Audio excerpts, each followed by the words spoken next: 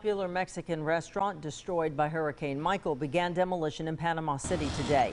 The Los Rancheros Mexican restaurant on 23rd Street is being torn down as you see. A new Los Rancheros location is currently being built right down the street, almost across the street from the old location. Contractors say they should be done with demolition of the storm damaged building by tomorrow.